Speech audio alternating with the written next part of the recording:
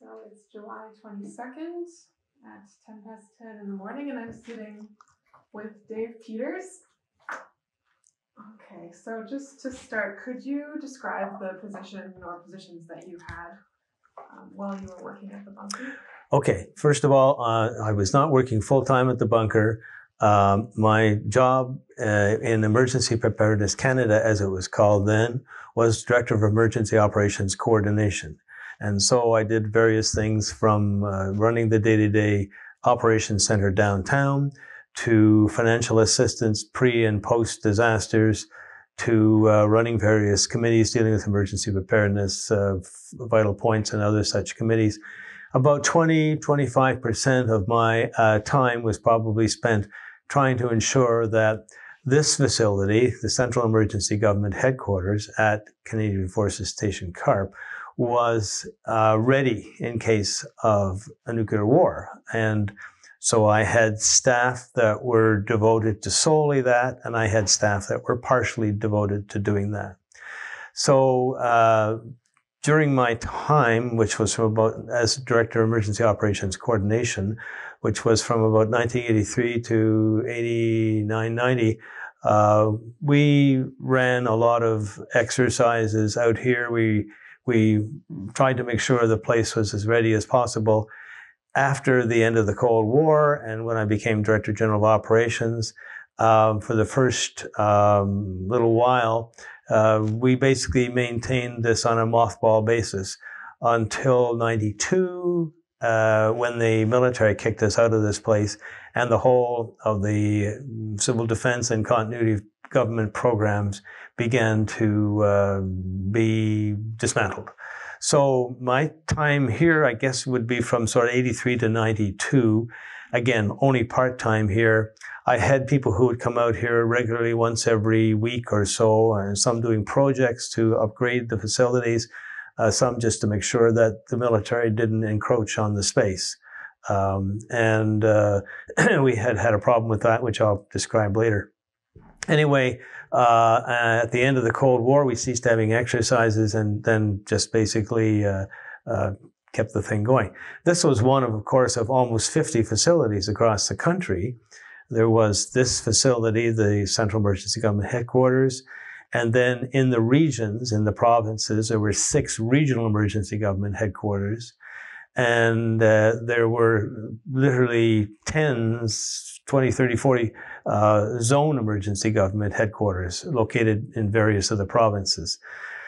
And uh, the details of that are in the archives here uh, and, and whatnot. So I'm not sure how far you want to go in that. But in terms of this place, um, actually, my first contact with this place was in the mid 70s. I had come back from Pakistan and been posted to, and it was in the military at the time, I was a, a major. I was posted to the uh, Uplands Construction Engineering, uh, base construction engineer's office, office, and um, one of those, one of the responsibilities of that office was the maintenance of this facility. So I came out here probably in 1975 uh, with the engineering officer at the time, Captain Dennis Dart, and he took me through this facility. And uh, we basically did the quasi VIP tour. Um, and uh, we saw the movie, The Nuclear Roof, in the cabinet room. And then after we went to this facility, we were only here for a couple hours. And we did a pretty detailed tour, including of the Federal Warning Center, which I can talk about later as well. Uh, in fact, you might even take notes about what I say I'm going to talk about later because I might forget to talk about it later. Anyway, uh, we then left this facility, which was the uh, basically the uh, um, um the transmit, uh, receiver building, and went to Perth. And just outside of Perth is a smaller was a smaller version of this, about an eighth the size, two stories, and a smaller floor plan than this. And I believe that was the transmitter facility associated with this. So there's there was the two facilities. The one in Perth, uh, after this facility was closed down in '94, I think it was, uh, was rapidly sealed and is probably now just full of water. Um, so that's the first time I came here. And in fact, at the time, I went to visit the uh, nuclear, the radiation fallout filter room, and we had discovered that it was a special built filter, basically wood and layers of of uh, activated carbon and other material.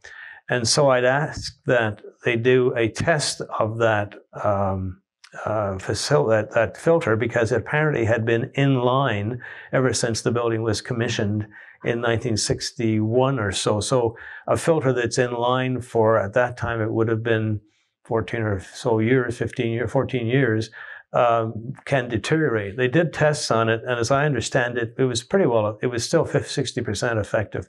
I guess, I think that information is available either in our archives or probably in DND's archives if you can get to it.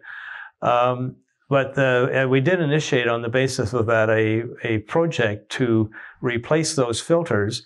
And uh, I guess over those filters, and we looked at the other filters in the other emergency government facilities, the regional facilities, and uh, determined that maybe they should be replaced as part of one project. So a, uh, a document was initiated to begin that. And of course, then I, after a few years, as it is the case of the custom in the military, I was posted uh, away. I went to uh, uh, staff college for a few years. And when I came back, um, um, basically, um, I, I well, I was into staff college, and then in the early '80s, I got out of the military and joined Emergency Preparedness Canada, Emergency uh, uh, Planning Canada, as it was called then. And uh, my new boss, Don Hall, the Director General Operations, basically said, Well, as part of your DEOC responsibilities, you're in charge of the bunkers. Oh, I said, That's really interesting. Uh, so I, he said, and your first job is to come out here and take the press through. Uh, there was a group of press people who wanted to see the place. A uh, little background on that. In uh, uh, the uh, Trudeau era, um, one of the, one of the announcements he made, he knew about this. It was a secret facility until he made his announcement one of his announcements was the uh, acknowledgement or the public announcement of the existence of this place. Uh, it had been uh, considered an EASE site, E A S E, standing for, um, let's see, uh, uh, emergency. No, I'm not sure exactly what the E stood for. The last part of it is signals establishment. Um, anyway, it had, had been put together as a, as a um, uh, cover for the place. So he made the announcement in Parliament of the existence of this place. And after that, uh, the press were interested and were coming through in dribs and drabs. And, uh, and as I said, one of my first responsibilities was come out here and give a briefing to a whole bunch of folks from the press, which I did. Uh, using some slides I'd culled together and seemed to be successful. And I found myself I found myself doing that every couple of months with either one or two members of the press or a bunch of them. Even had Mike Duffy through here one time. Uh, interesting questions. He he was uh, he gave us pretty fair treatment uh, in the uh, the press. Uh, many of the others were other members of the press were keen on. Um, downplaying this place sort of in a derogatory sense you recall that was the time when there was a movie called The Day After come out. And Carl Sagan, who is a fairly well known uh, science uh, popularizer, uh, was making comments about nuclear war and the possibility of you know, runaway um, nuclear winter, which, and so most of the press were sort of trying to interview things on that basis. Uh, and of course, I was not in much of a position to comment on that. That requires scientific and and other knowledge that I didn't have. But of course, they'd always try and make you comment on it anyway. So I did. Uh, but I, I, usually gave the comments because I'm a civil engineer by background and have studied this kind of stuff ever since I wrote my thesis on it at university on radioactive fallout and decontamination from water. Anyway, so I've been sort of interested. Anyway, and, and I, uh, I, I, I sort of enjoy tweaking the press occasionally. But uh, we got mm, sort of either neutral, sometimes sometimes sardonic coverage. Mike Duffy was one of the ones who I recall watching him present the information on, I think it was a Canada AM program, and the anchor in Toronto, and you know that most of his time was spent here in Ottawa, the anchor in Toronto was disparaging this whole thing. And he, he interrupted, which is rare for a journalist, and said, No, that's wrong. These people are serious, and this is a serious situation. Uh, it, because it was. I mean, this was the one of the bulwarks against chaos developing in the aftermath of nuclear war, whether you believe nuclear war was going to happen or not. In the 80s, early 80s in particular, it was getting pretty hairy. I mean, it got hairy two times in the life of this place. Uh, once mm, around the Cuban Missile Crisis time, and uh, once in the early 80s, when, of course, the Soviets had invaded Afghanistan and they had uh, uh, and Reagan's response to that was to uh, increase the armament of the United States, to which the Soviets replied by doing something likewise. And uh, so it was um, uh, interesting times, and we were probably not quite as close to war then as we were in the Cuban Missile Crisis, but there was times when things got uh, iffy here. And did you feel that the press wasn't taking that as seriously as the military was? Oh yes, oh definitely. The press definitely had not, and, and hardly ever did take the whole civil defense thing very seriously. This is, this place really is, in a way, part of the whole civil defense program, uh, because you couldn't have the other government departments doing their civil defense functions without having this place to coordinate those functions and uh, you also have to realize this, but this place is not the place that you would have run the entire government from. It couldn't be. Um, you would have to depend on surviving pockets. Um, now, we'll get into more detail on that, but basically, it, it, all depended on the size of the nuclear war. If, in fact, all weapons had been used all at once, then Carl Sagan was probably right. That would have been the end of things, either through nuclear winter Probably not through fallout poisoning, because there are many, many places in the world which, even if there was an all exchange of, of nuclear weapons in the Northern Hemisphere, there would have been many places in the world that would have been relatively untouched. But the nuclear winter thing was a distinct possibility, as far as I understand. Some scientists Edward Teller uh, I believe, uh, spoke against it. Other scientists, Carl Sagan, uh, spoke uh, as though it was a, a very distinct uh, probability. Anyway, um, if there was just a, a minor exchange, and how can you say that? But you can, relatively speaking, of nuclear weapons, then this place would have been a very would have would have worked if there was something in the middle, I don't know. Nobody knows. As I often say when I'm taking people on tours, people ask me, well, would this have worked? I said, I don't know, but we had to try. And this was basically an attempt at staving off chaos in the advent of a nuclear war and having some form of government. Well, I used to call a thin thread of government from before to after. Would it have worked? We don't know. Uh, but uh, it was a better chance than doing nothing. And it really didn't. It sounds like $20 million is a lot, and it was a lot when this was built, because that's roughly what this cost to build. And then there was another, I don't know, 10 to 20 million dollars spent on fitting it and to do and doing the other uh, uh, uh things. But uh, we, uh, you know, we that was the try. and you you said that you realized that the threat was a little more serious. I think most of us in civil defense at the time, because that's what emergency preparedness was. It, civil defense had evolved over the years, and there's a book in the library called, um, um, uh, let's see, um, Be Prepared Today for Tomorrow. And it's about the history of Emergency Preparedness Canada from 1948 to 1998, but deals with some of the time before and some of the time after. But the whole history of that was one of, um, uh, I would say, benign neglect, except for a couple of times benign neglect. To give you an example, when other nations in the world were spending uh, $20 per person, $10 per person, five dollars per person on civil defense. Canada was spending twenty five cents annually on civil defense, so it didn't get a lot of attention. Government departments were charged with doing various aspects of civil defense. Um, there is a in um, in, the library. There's a copy of the 1981 planning order, which very succinctly and concisely lays out the responsibilities of I don't know 11 or 12 different government departments eh, including Emergency Preparedness Canada, for what they would, what their planning and their response responsibilities are during nuclear war. And of course, I say that because those departments would have had a place here, and and I go back to my original comment, but you would not have run the government from here.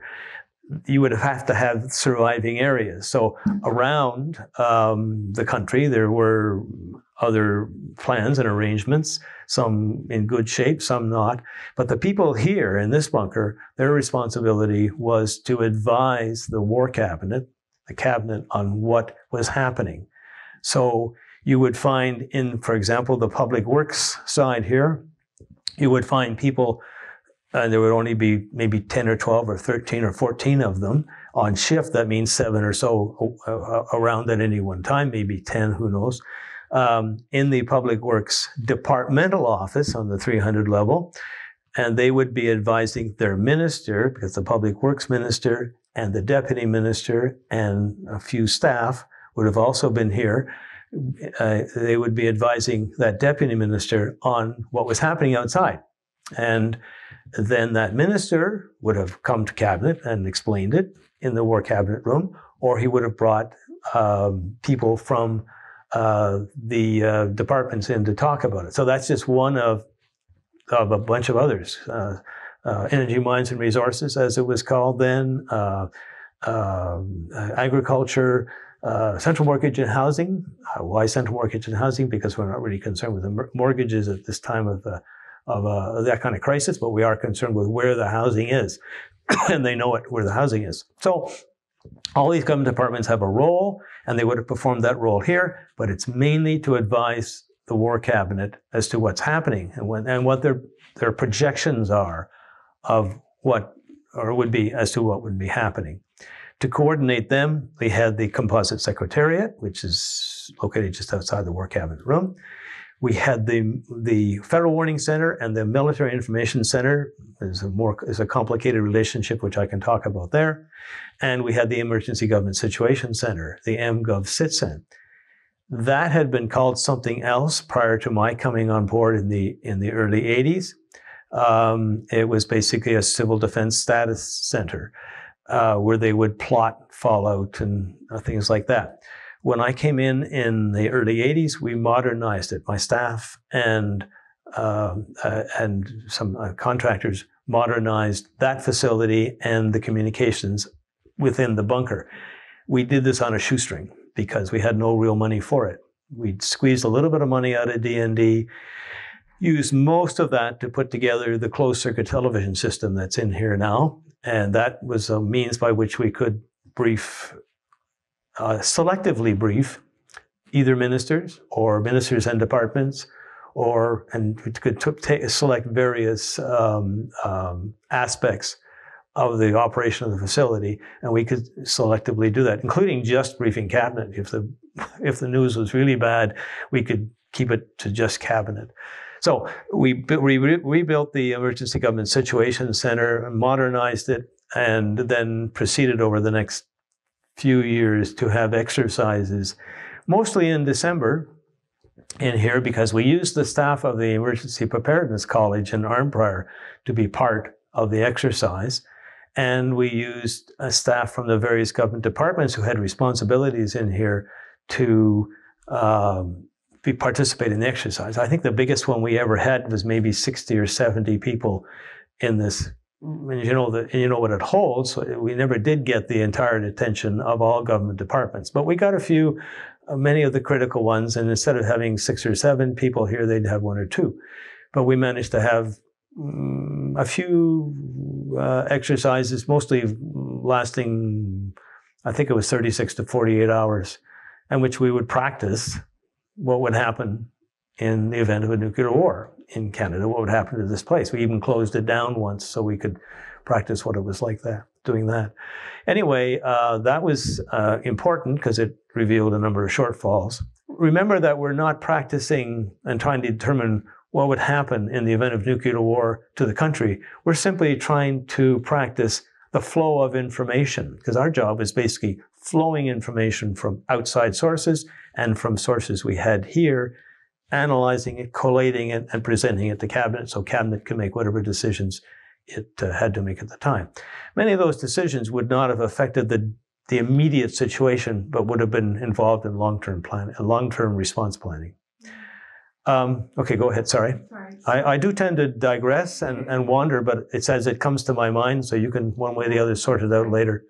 Um, so knowing what you did about um, the reality of the situation and going through these uh, um, drills and, and things in the bunker, um, did that make the Cold War more of a reality to you in your day to day life? Did you find, or was this just? Um, Well, that's a very good question, actually.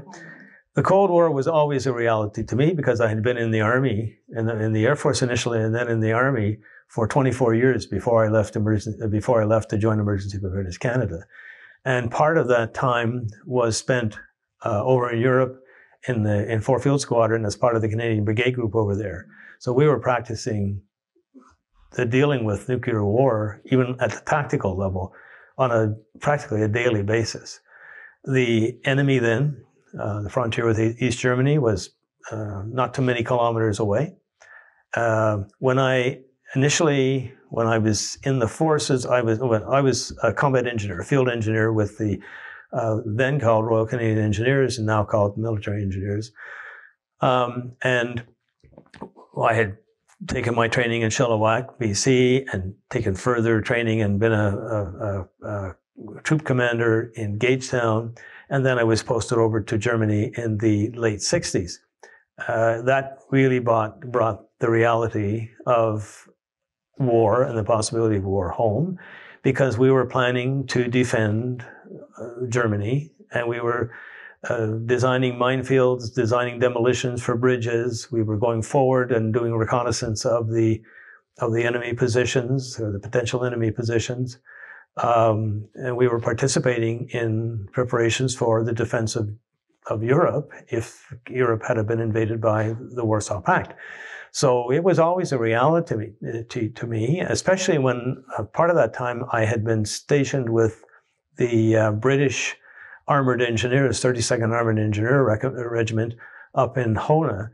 And uh, uh, Hohne is mere kilometers away from the border. And some of the things we had to do involved going up to the border and even patrolling. So um, it was very real to me. Uh, and uh, you could see the border. And you could see the mine strips and the guard towers and the barbed wire and the spotlights and whatnot. So while you folks in Canada, um, I don't think it really sunk into Canadians very much what the reality was. I mean, I got a, a small anecdote on that. I had been working here and obviously dealing with the potential for war from 80 to 80, uh, 83 to 89. And uh, I, uh, uh, I always thought to myself, this is not going to end well. Uh, this, the whole buildup of defenses in, in Europe uh, and the buildup of nuclear strike and capability and the building of these facilities, this is not going to end well. And so, to me, the greatest miracle, and I was practically in tears when it was happening, and yet it sort of went over the heads of most Canadians. The greatest miracle of our time is the fact that the Cold War ended not with a bang, but with a whimper. And I, I still think that's amazing. I, I don't, and if there's ever any reason to believe in God, uh, then that's got to be because it, it gave us another opportunity. What we're going to do with it, I don't know. Anyway, uh, so it, to me, that was a miracle. Now, unfortunately, it ruined all my plans because we had this place getting more and more prepped and we were doing uh, more and more exercises and people were coming on board. There'd been a big hiatus from the time this had been constructed in the and, and prepped in the early 60s to uh, the late 70s, where nothing very much had happened here. And the military basically used this as their communications, uh, one of their main communication centers. And uh, interestingly enough, all the rooms here that are departmental and ministerial offices, or many of them, had been um, taken over for offices for every Tom, Dick, and Harry and private in the military had his own bloody office. And one of my jobs when I came in here in the early 80s was to kick them all out and reestablish the offices for what they were supposed to be for. One of the things I did very early on is to put a sign outside the front, right at the uh, airlock door, saying Central Emergency Government Headquarters. And there's a picture of that sign around, and I hope someday we'll be able to restore it because there was a constant reminder to the military what their position was here. While this was a military base, part of CFS CARP and a main communication for them, uh, for the military, this was really built as a central emergency government headquarters, an emergency government facility for civilian government.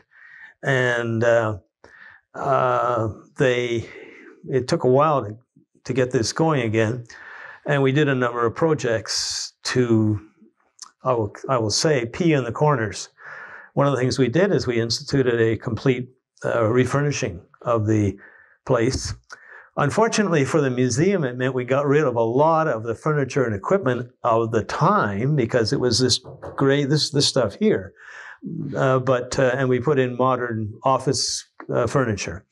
Uh, so there are two looks to this place. There's sort of the the pre mid 80s and the post mid 80s. Um, one of the advantages of this, of course, is where an office before might have held uh, six or seven people, with new furniture, we could have held seven or eight people. Um, which was interesting because I'm going to digress here again. Um, it came when it, it came down to what is the purpose of these places in a, in the toward the end of the Cold War and what were we going to do with this in the future? And um, uh, in fact, in the late 80s, a new Emergencies Act had been, two acts had been passed. One is the Emergencies Act, and one is the Emergency Preparedness Act. And the Emergencies Act basically dealt with um, um, the what, how we were going to treat emergencies less going to the War Measures Act because in the in the time of the FLQ crisis, uh, Trudeau had no tools to deal with this other than nothing or the War Measures Act. And over a period of time, uh, this it had been decided to change this to give him more intermediate or to give a prime minister more intermediate steps to go to. Um, the the minister at the time, I remember meeting him, and he was a really good one. A minister was Yvon Pinard. Uh, I think I heard him on the radio uh, a few days ago. In fact, dealing with something else. But anyway, uh, he's long since retired. But the Emergency Preparedness Act had a new statement in it, and it said we were dealing with emergencies, not just um, uh, emergencies that would involve the uh, a small group of war cabinet, inner war cabinet people. But we had to deal with emergencies and we had to re- not just have emergency government, but we had to have a constant, an emergency government that was constitutional. So a constitutional emergency government.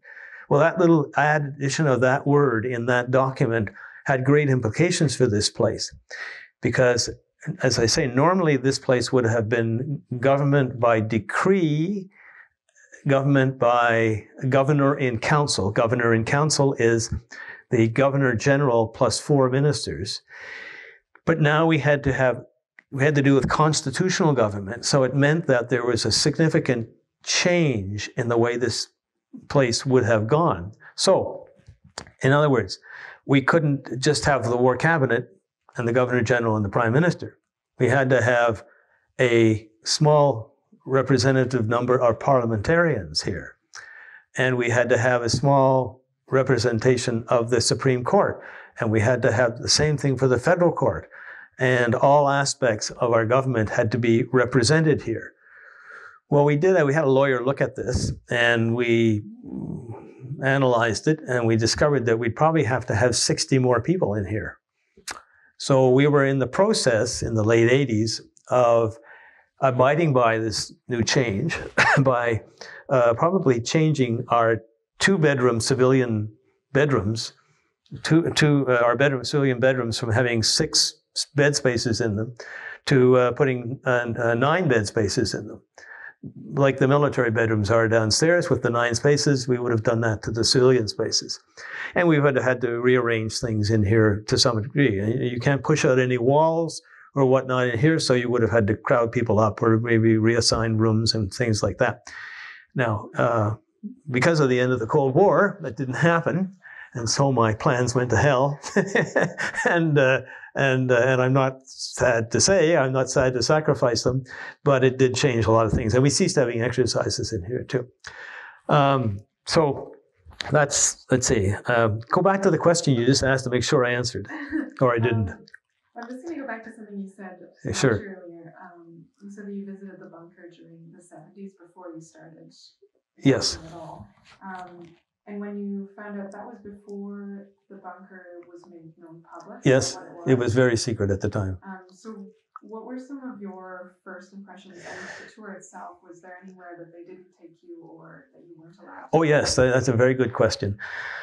Uh, my first impressions. I remember feeling really strange walking down that tunnel for the first time because this was the last ditch stand if something went wrong. And you're going to now, I mean, I, I've always been a sort of a science fiction fan and, and some of these Tom Clancy type things. And walking down that tunnel was the eeriest experience I had had in a long time. And yet I had dealt uh, in Europe with all kinds of explosives and and demolitions, and I'd been doing that for years, and just became a matter of course. Um, we'd seen uh, Honest John uh, tactical missiles launched in, in operation, in, in non-operational sense, practice sense, and things. It never gave me the feeling seeing all that even dealing with what we used to call atomic demolitions, which would be small nuclear bombs that we would have placed in cities to demolish them on our retreat back from the border. We, I didn't feel the, and we used to put these in practice, putting these in cities and putting barbed wire around them, etc. That never gave me the weird feeling that walking down this that tunnel did the first time. Anyway, we uh, did the, the tour, and yes, there was places we were not allowed to see. In fact, there's places I was not allowed to see even after I came back here as a civilian, and that's the OSACS room. The OSACS room was not called that then. It was basically a different kind of room then, and it was uh, off bound, out, out of bounds. And in fact, even when I came back here as head of the civil aspects, I used to uh, take people on tours and look around and whatnot. But we were never allowed in the OSACS room, and I used to nag the station officers about it one time, uh, uh, quite a lot at lunchtime. And yeah, yeah, yeah, yeah. I know in the military, it's need to know, and I had no need to know, but I used to nag them anyway, Did you uh, know what was in there? Did you have any idea? roughly, but never having seen it. So anyway, um, actually, my my wife's niece used to work in there, and uh, her name is Heather um, Heather York with an E. Anyway, she uh, uh, worked, and then one time I was giving a tour. Some folks, uh, she sort of, she was down in the cafeteria. She was a corporal at the time, and she's, "Hi, Dave, how are you?" So we had a little chat. And everybody was sort of uh, standing around, astounded. But I knew she worked there, and I would never ask her any questions. However, some one day, toward the, end of things, in the early or late '80s, um, I was an nagging the station officers about this. And uh, what they did is they said, "Okay, you've been asking about this for years, so come down and take a look." So went down to the um, the uh, the ramp area there, and they opened the doors. Everything was covered in blankets. Couldn't it wouldn't make any difference at all. So it was basically um, uh, out of bounds there was uh, for a whole bunch of reasons. Uh, one, I and I don't know the details of this, and you'll have to ask them, but I don't think we'll find out for a long time. CSIS was involved in that room, in messages going in and out of that room. There had been a long time relationship between this place and CSIS. In fact, there's a plaque which Doug Beaton has that lists all the the you want to even look at that plaque. Ask Doug Beaton to look at that plaque because on that plaque are the names of all the CEOs of this place and all of the chief warrant officers of this place. And in fact, one of the CEOs, I forget his name, one of the first guys, he um, he's he lives in Ottawa and he's in he's not in great health. Uh, so if you if you did him, you'd you'd have to uh, go into town. But I don't even know if he's with us right now. Anyway, uh, but uh, that's an interesting plaque because uh, a lot of people, unfortunately, a lot of people on there are dying. Like Doug Doug Hildebrand, who was the uh, chief warrant officer here and when he retired, became the curator for the uh, Signals Museum in Kingston. He's just passed away. Um, like my uh, uh, Bill Lobin, who was my continuity of government officer, uh, he just passed away um, six months ago. So um, uh, the, the, guy who was the um, coordinator, he was like Bill Lobin was the ongoing on the site like he would go out here, come out here a lot, check things and troubleshoot things dealing with the military, etc. And uh, um, in fact, there's some of his. He had been in the military. There's some of his peacekeeping artifacts in here someplace. But anyway, uh, the other guy is Andy Renault. And Andy Renault was in charge of the whole thing. He was my operations officer. Andy Renault is still around. He's living in Ottawa, and uh, he probably could help you too. You might have to actually go to visit him as opposed to bring him out here. I don't know. Um, uh, who else is there? Don Smith has passed away. He used to be the operations officer in the EMGOV SITCEN. Um, um, let's see who else there is. Uh, well, there's um, uh, Don Campbell is a young man. He's still around. I'm not sure exactly where he is, but I did see him some months ago. Um, he was the guy who actually physically put together the EMGOV, our EMGOV SITCEN. Um, uh, let's see, uh, the, the, the, contractor who did the uh, the closed circuit television system was the guy who owned United Video in town. He unfortunately passed away last December. Um, so you you got to be getting us fast. you won't have anybody. Uh, okay, so more questions. If I and if I didn't fully answer those questions because I digress, ask the question again. So you're talking about all these different people that you met while through your work with the bunker. They worked for me, most of them. What did you feel was the sort of the atmosphere socially at the bunker between staff and? Yeah, you see, there wasn't much of a social aspect at the bunker with my folks because we were never here full time. Okay, uh, not at all. We we had some social aspects, social aspects to our uh, our job in town. Remember, basically what we did is we ran the operations center and ran a number of programs in town, uh, in the Jackson building on Spark Street, or just off Spark Street. Um, then this was a t- secondary duty. Some people it's tertiary duty, and we come out here and make sure things happen. So very rarely did we socialize, at least as a group, with the military. Some people like um, Bill Renault, who was my communications officer, retired from here and came to work for me in town as my communications officer, but he was also responsible for the EMGOV communications out here and for other projects such as the uh, refurnishing uh, stuff. Now he's still around, and he's a good guy. Now his uh, his sister Linda Renault is uh, was uh, a high level secretary in the EPC. She never got out here actually. Um, and I'll tell you, ask me about that later because I'm trying to arrange an event in September where I get all these people together. Okay. We don't know where this is going to go, but I'm trying to arrange the event. Um, and she's going to help me, I hope. Uh, who else was out here? Bernie Eldershaw. She was my secretary and she would have had held down a desk in the EMGOV SITCEN. And she's still around, but she's not well. Um, uh, let's see, um, Joe Prince. Joe Prince was before my EPC time. Joe Prince was the uh, draftsman technician on site here for a long time after the place was built. He came to work for us. Uh, basically, was transferred to the Uplands office for some years. Left that, went to work for the Science and Technology Museum, and is now out doing private renovation contract type things. Anyway, he's uh, he's around. I had him out here a couple of years ago. You might even be able to talk to him about what things were like here. But uh, if he's willing, I don't know. So uh, maybe we can find his address together somehow. You, by the way, you asked about what the mood was. Well, the mood was interesting. Uh, not so much the first time I came here, which I've given you an idea of what that was about. Actually, I guess part of that experience was seeing the nuclear roof fil- film and realizing just how much knowledge and technical background had gone into building this place. Gave me quite a lot of respect for the builders, uh, project manager um, uh, Ed Churchill, and whatnot. Uh, but also uh, the uh, the company that that, that built it. Uh, and anyway, they be nice to try and follow up on them, see who they've evolved into.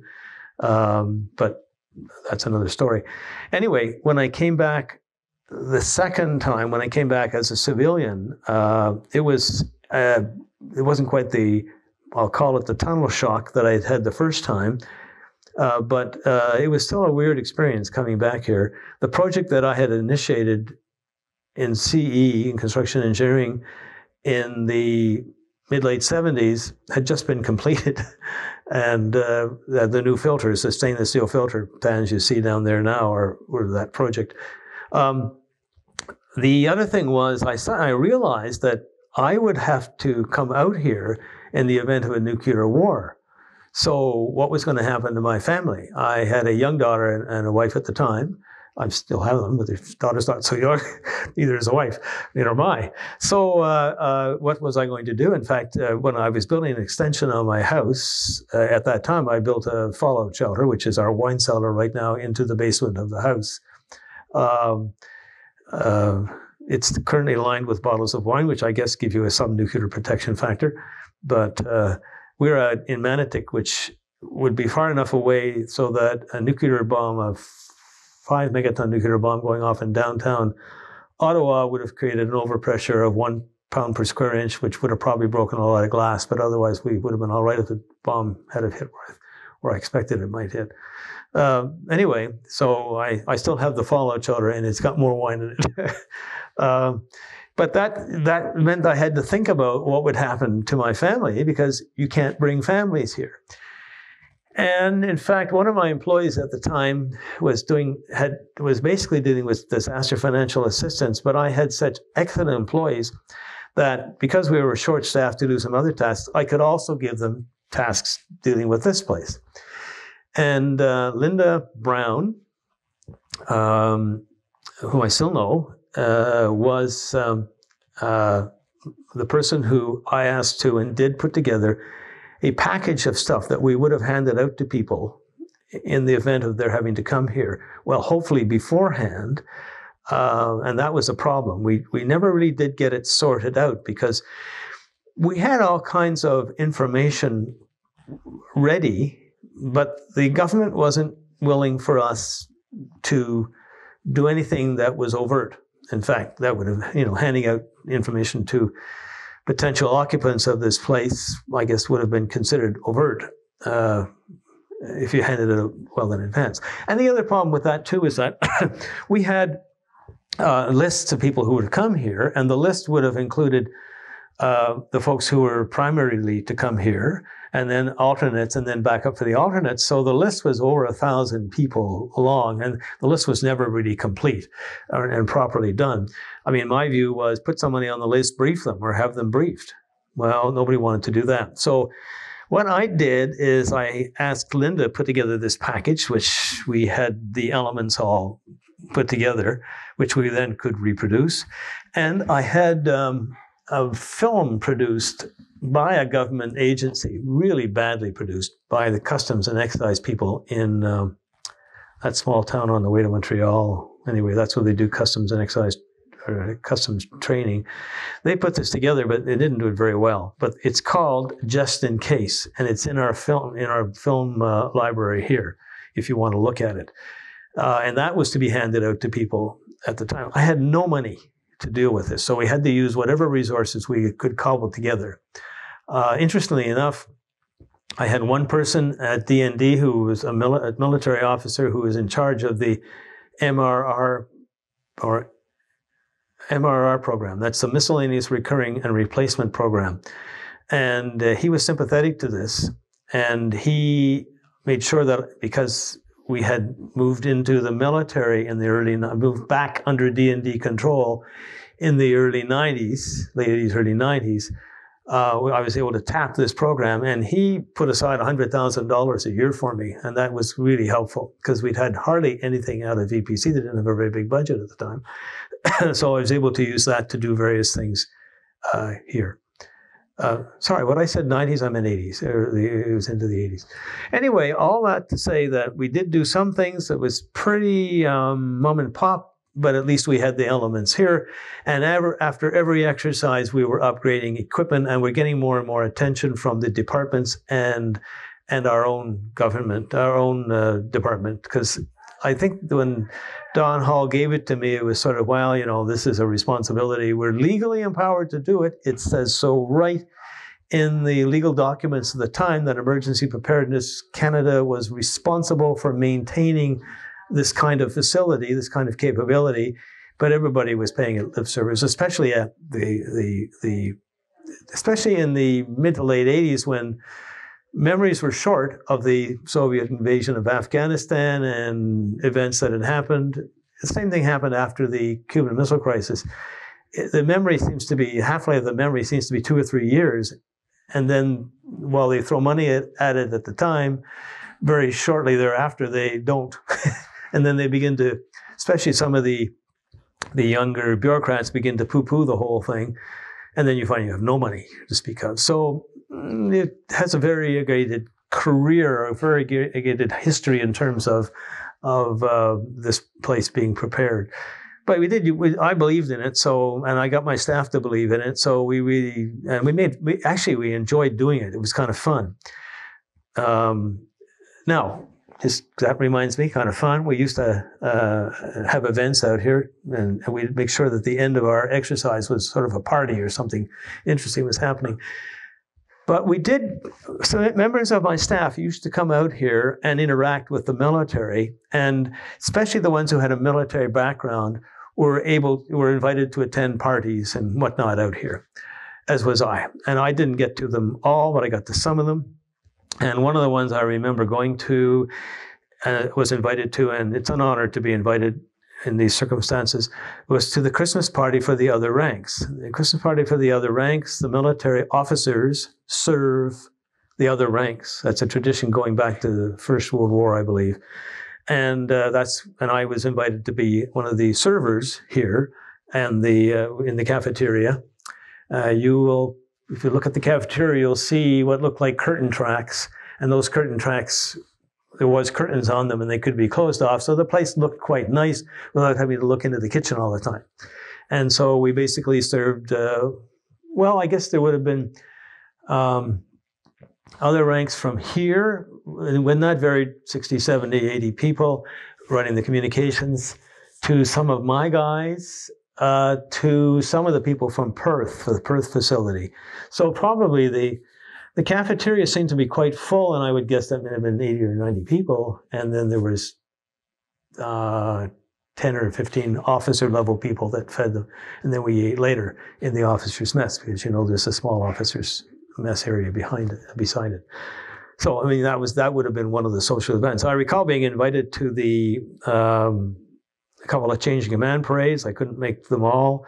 And I recall being invited to the close down, but I couldn't make it. Um, I should have. I, sh- I was feeling kind of bitter about the whole thing, and I didn't make much of an effort, not realizing what I'd be involved with later.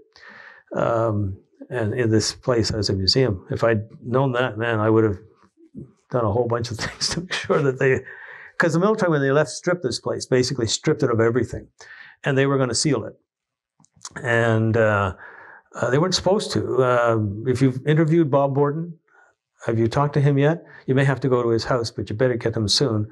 Uh, he is. He was. Um, he would have had a job here in the solid fuels part of energy mines and, or industry trading commerce or energy mines resources. I forget which one. And he was very active in this place from after it closed to the uh, early 80s. His you know, health has been, I mean, he was the guy who almost personally put our septic field in. He was a manager of this place for a, a long time as, uh, as a museum. Um, so that's Bob Borden. You get to him sooner rather than later. Um, he lives nearby.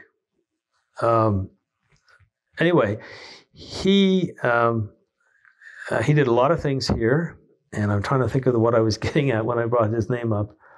Um, anyway, he uh, would have had a spot out here in the event. So, um, and I'll come, probably remember later what I was going to say about him. Do you think you could remind me on that? Uh, but uh, there were there were a number of folks who went to some of these events, but there wasn't a close social contact between ourselves and the the station. The first uh, station commander Eric, and I don't remember his last name, that we had a really good relationship, and that was in the early, mid early 80s, uh, was supportive of us, but some of the subsequent ones weren't. Because, of course, we were pushing people around. We were saying, you can't get in that office. That office is supposed to be for uh, this department, so please move. And uh, we were shooing them out of all these little areas. Um, and, uh, oh, yeah, when the bunker was to, uh, was to close, the Hmm. Bob Borden was one of a number of the people in Carp who, I don't know if it's literally, but figuratively anyway, stood in front of the bulldozers saying, you shouldn't close this place. And they made arrangements to keep it open. But, and the military were told, according to Bob Borden, the military were told by PCO, Privy Council Office, not to take anything out of here that was at all, other than the stuff that was classified. But they didn't, they stripped it. I think the reason they did that is that they either were they lost something got lost in the translation or or the process, or they just wanted to get so much out of this that they'd never get back into it again because they considered it a costly waste of money. It really wasn't, but they did. Um, the military is, and having been in the military for 24 years, I understand this. The military can make the case for whichever case they want to make. So let's. Um, we had said uh, as emergency preparedness, we had said, can't you just mothball this place? I mean, maybe we shouldn't shouldn't get rid of it. Maybe we'll need it sometime. Can't you just mothball it? And in fact, I had written a paper while in emergency preparedness, giving five what I thought were good reasons, justified good reasons for keeping this place. Uh, everything from a small dirty bomb type threat to the all-out nuclear war, which was becoming less and less obvious, you know, at, but there was other aspects. And, and no, they wanted out of here, and they wanted. Once we had come under their control as a result of the Nielsen report and the reallocation of departments, they just jammed it down our throat.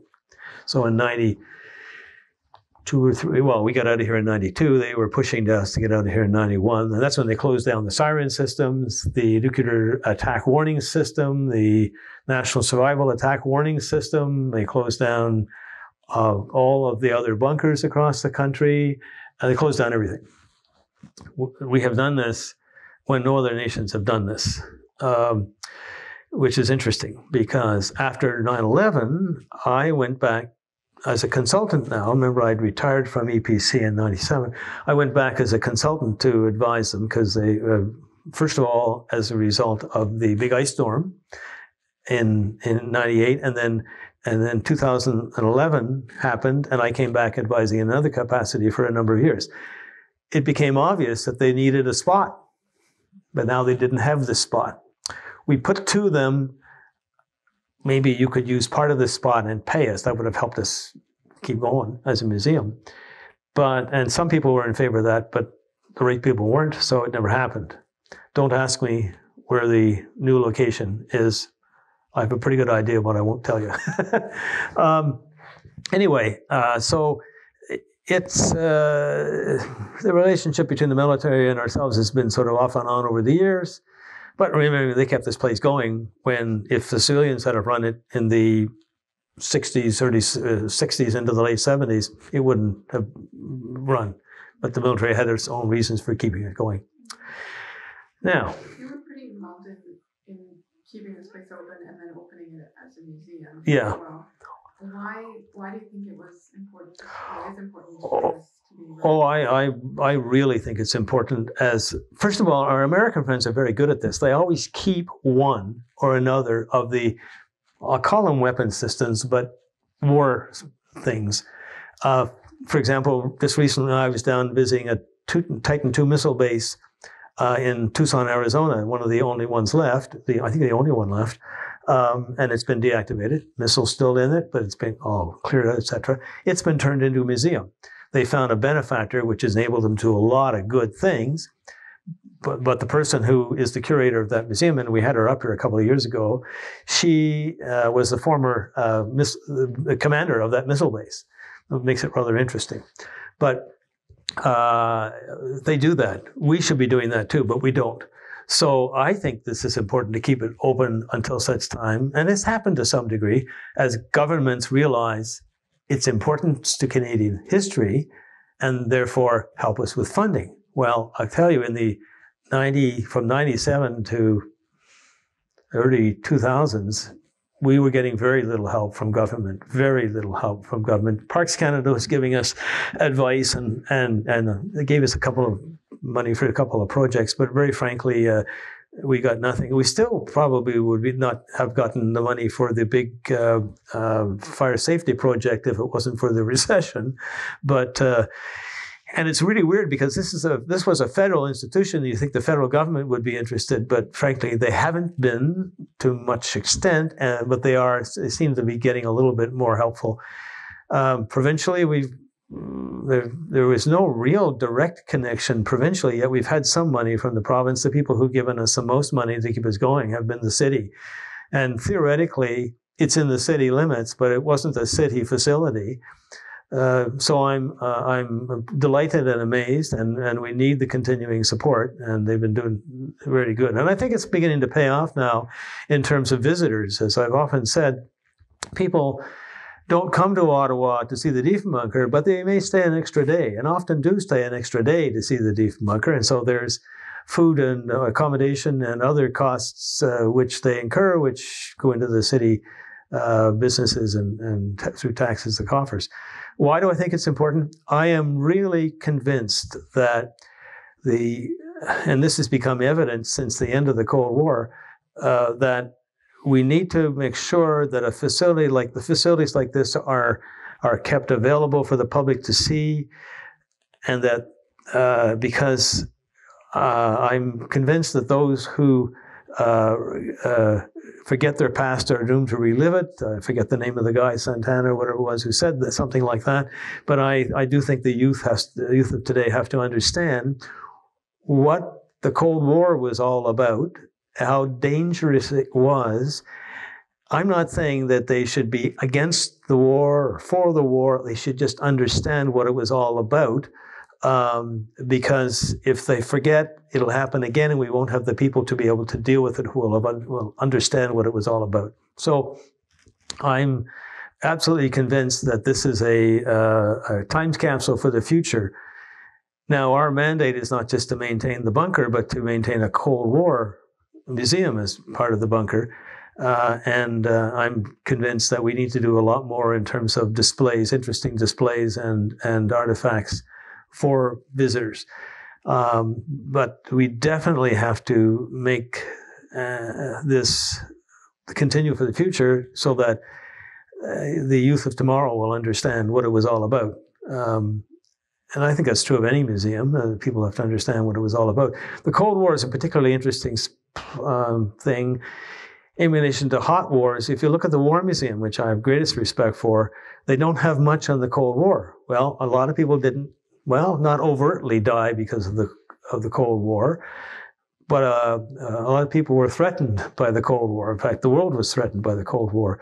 So they don't have much on it, and nothing very much seems to have happened. Now, you've been to the War Museum, I'm sure, and you've seen what they have. In fact, they have some stuff there that was in here. In fact, it used to be in the Old War Museum, they had the nuclear attack status board in their display, and it had my writing on it because I was the last person who filled it in in the exercise. But uh, they still have that in the back rooms of their storage area. we were trying to get our hands on some of things like that from them. In any case, uh, they don't have much on the Cold War, so this is our opportunity to do something on the Cold War. We have the space. It's costly to maintain, four or five thousand dollars a month just for the electrical bill and whatnot, uh, but it's worth it. And the interest of the public has gone from six or seven thousand visitors in our first few years to I think we're 45 and climbing in the last while. So uh, that shows there's an interest. I have a little anecdote on that too. You're going to be have lots of them. When this place was due to be closed down, I was invited out here. I think it was in 91 or 92 to preside over or be part of and partially preside over a group of uh, departmental officials from other government departments to see what could be done with this facility. And um, remembering that, oddly enough, that building you see outside, which is the library, had been built in the 15 months prior to this being closed down. So we, which is kind of weird. Uh, and so we had that space and this space, etc. Nobody could see any interest in this place whatsoever for their particular storage or operational needs. So that went by the by. Um, we even approached the museum people, the parks, the heritage people, and uh, nobody could see that anybody would be interested in this place at all. In fact, who would come all the way out here to go and come and visit this place? Which uh, says something about some of the higher level bureaucrats in some of these organizations. The lower level bureaucrats, medium, medium level bureaucrats, were quite supportive of the idea. Um, and, uh, and Doug will give you names and whatnot. Uh, but uh, most of them, no, there's no reason. Why would why would we want this? And so I was still working for EPC at the time, so I said, "Oh, I guess that's it. Then it's going to be sealed." And then I heard some years later, it was '96, that CBC was doing one of its last broadcast or a broadcast from here, celebrating the fact there had been a CBC studio in here. And uh, one of the current uh, CBO broadcasters, I forget his name, was doing a broadcast from here. And that was kind of interesting. And I was listening to this. I'm a CBO fan. I listen in the morning. So I was listening to this and oh, oh, they're going to close the bunker up finally. Well, that's, that's too bad. I, uh, and then Connie Murray called me and said, you know, we're going to try and keep it open. Now, my dates may be not quite correct, but anyway, we're going to try and keep it open. Oh, and she was writing a book on this place. So I said, well, I'm not retired yet, but as soon as I retire, I'll come out and and give you all the information I can uh, about the place and uh, walk you through it and everything. Um, it's been totally stripped at this time. There was all this furniture wasn't here. We acquired it other places, and uh, so in fact, I went to a Diefenbunker development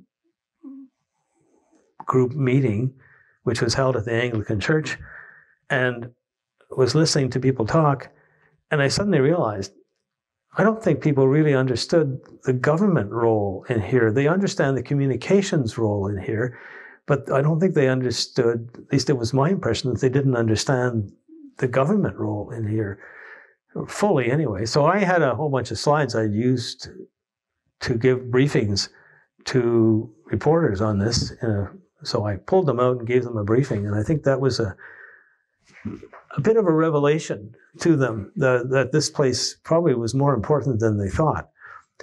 I still have that briefing, and I still um, um, it's in my office just over the office just over here, but. Um, it was interesting to see the reaction because, and, and, then we started, and then we just began to get moving more and more. And I'm not saying I initiated because the guy who initiated was Dr. Barry Bruce. He was the man who made this work. I was just along for the ride and to provide information I could, and uh, it just began to take off. A lot of volunteers. Uh, it's too bad we've lost a lot of their names, but I think somehow we should put together a list of the volunteers' names before the people that might remember them or better memories than I forget them. Because some of them were only here for two or three years. Uh, a young lady by the name of Kathy lives used to live nearby. She was the PR person, was really energetic in getting PR for this place. Um, we had uh, under when she was here, and that was in the late '90s. We had um, uh, we had Pravda. Come and visit us. Now, I must tell you another anecdote. In the early 2000s, we had a visit from the Russians. Okay. Um, Sergei Ivanov, who is currently the deputy prime minister or premier of Russia, who in fact, whose name in fact appeared in the in the newspaper story yesterday in conjunction with that aircraft crash in Russia. He's also the person in charge of air transportation in Russia. Well, he was at the time he was defense minister for Russia, and again, this is after the Cold War. And he and five Russian generals and two Russian naval commanders and some RCMP came out for a tour of this place. And so Shauna Moffat was the curator at the time, or the manager at the time. And I said, okay, I'll, I'll give the tour. And so they arrived in limousines and whatnot. And then we took them down the tunnel for what was to be about a half an hour tour. And they I was walking backwards down the tunnel. Uh, Sergei, or was Mr. Ivanov, was in a blue serge suit or something like that, and there were everybody else was in uniform. Sorry, no, the RCMP guys weren't in uniform, but the generals and the naval commanders were in uniform. And the Russian generals looked every bit of what you caricature a Russian general to look like big, burly, short cut hair, swept up hats, huge masses of medals. Anyway, they didn't speak much English. Uh, Sergei speaks or spoke good English. So, what was to be a half an hour or so tour ended up being about two hours. and we spent the last part of it in an exhibit on the 400 level there. Maybe we spent 20 minutes to a half an hour in an exhibit on Cold War toys. And uh, uh, we had, Doug can show you, we have uh, some Cold War toys here from both sides of the uh, Iron Curtain.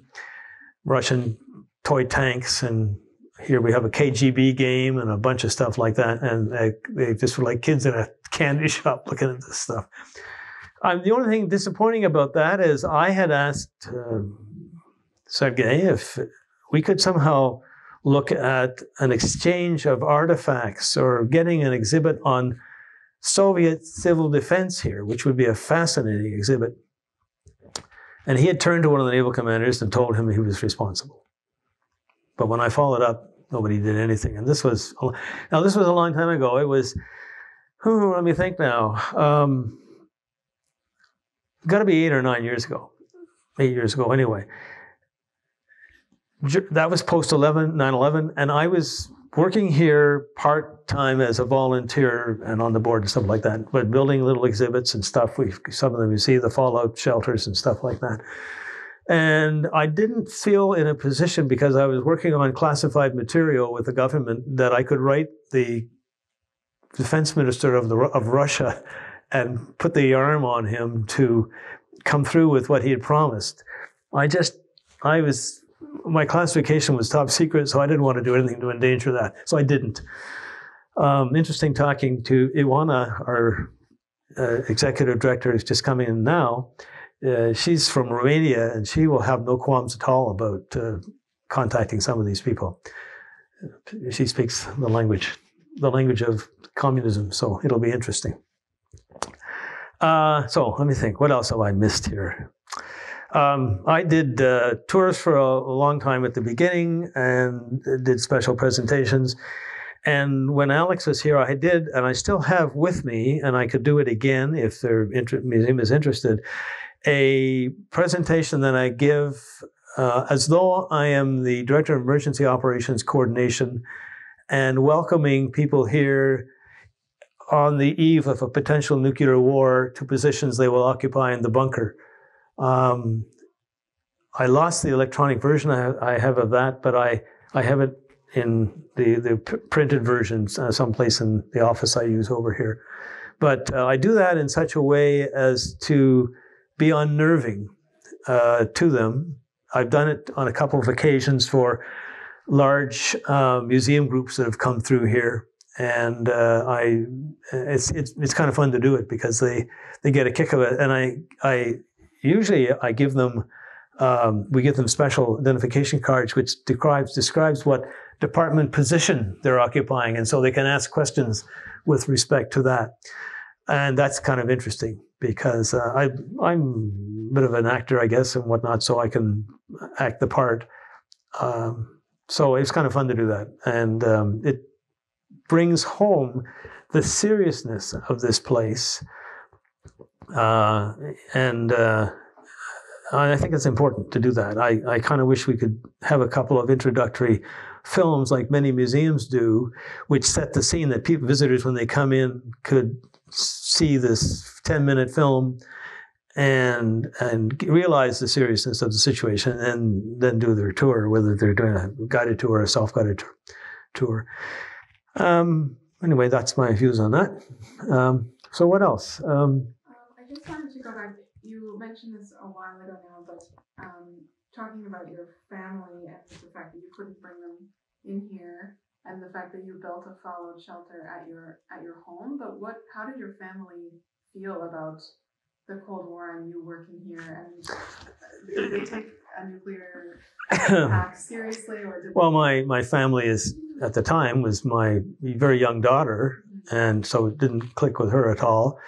She was you know in their early late early teens maybe and my wife who has been my wife for thirty seven years, followed me through to Europe, or been with me in Europe, and we've been all over Europe. And uh, we've even participated in a communist demonstration in Florence in the late 60s. That's another story. But anyway, uh, we, uh, uh, uh so she's been, she understands this whole business. Uh, like possibly most Canadians, she never thought it would really happen.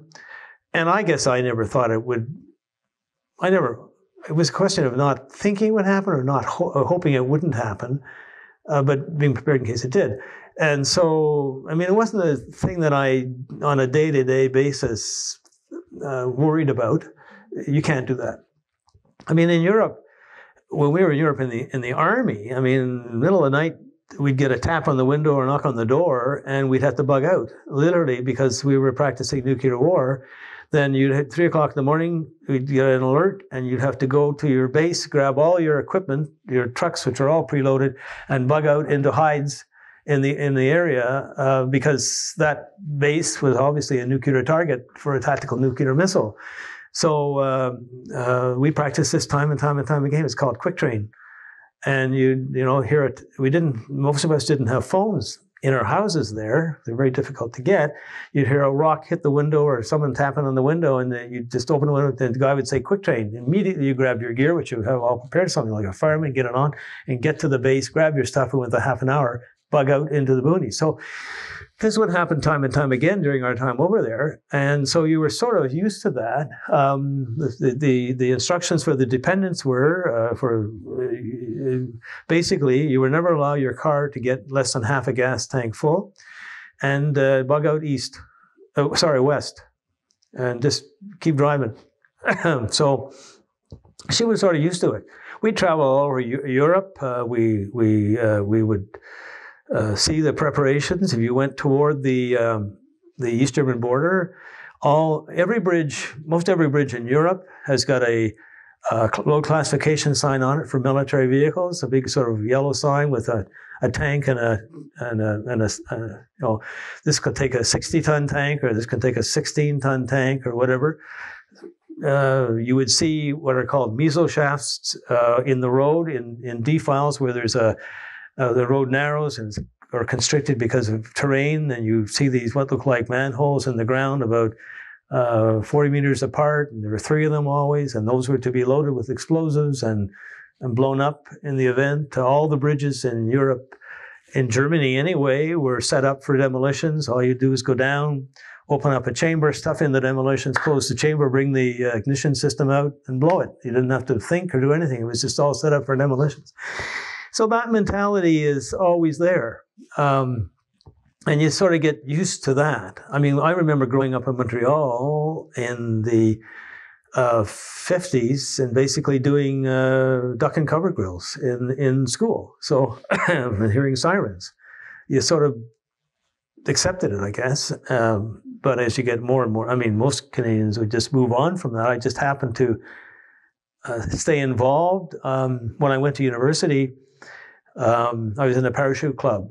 I ran the parachute club for three or four years there, and uh, we had a good relationship with the base. And um, at the same time, Defen Baker was uh, pushing a program for people to join a sort of a special reserve and take training in civil defense and rescue operations and things like that. So, as a lark, um, somewhat as a lark, and because we got paid, uh, and, and, the money would help pay for our jobs, uh, much of the parachute club joined this and took training two days a week down at one of the armories. You know, these are students taking uh, engineering or science or or various arts or business programs. And we're all members of the parachute club and just love all this stuff. So uh, we said, well, well, we'll all join. So we did, and we took all the training. We're all buddies. Uh, we did exercises. We even did a, um, um, quasi rescue jump out in one of the Camp Gagetown, uh, base Gagetown areas there. You know, you're young and this is kind of exciting stuff and it's interesting. And hey, they're going to pay me to learn how to rescue people in the event of, a, of, a, of an emergency. Uh, oh, okay, sure. And they paid well, actually, enough to pay for my parachute jumps for many years. But uh, that was a that lasted about a year, and uh, but that got me interested in civil defense. In fact, I still have at home my civil defense uh, um, certificates that you got at the time, and that sort of got me interested. And uh, and then when I got into the business as the director of emergency operations coordination, oh, and, and having this as a responsibility, plus other emergency preparedness responsibilities, it, it became quite interesting. I really like like emergency planning. In fact, I've done the pandemic plan for the bunker here. Um, everybody's got to have an emergency plan, I guess. So anyway, it's and my wife all along was very supportive and understood. And the fallout shelter wasn't a big issue because that's where we stored our wine, and we love our wine. we make our own, uh, so we needed room.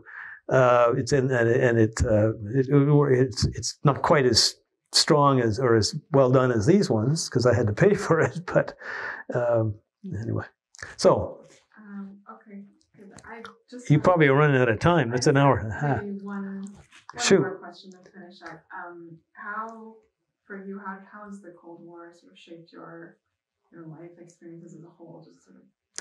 You can probably say from what I've just said a lot. um, um, which is why I'm really interested in making sure the youth of today understand what it was all about. But it's a, sh- it's shaped, but it, it's never shaped it in the fear sense, really. Concern, a bit. Anxiety, not much.